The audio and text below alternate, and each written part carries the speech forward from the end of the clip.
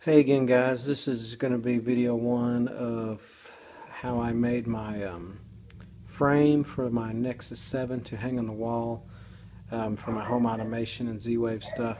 Um, just wanted to give you a quick little tutorial of how I did it. It's just a wood frame. Um, just uh, routed at the back using a router. Got two pieces of wood right here, holds it nice and secure, um, but they are removable. Got the cutout for the mini USB. Um, you could also put a QI charger, wireless QI charger right there.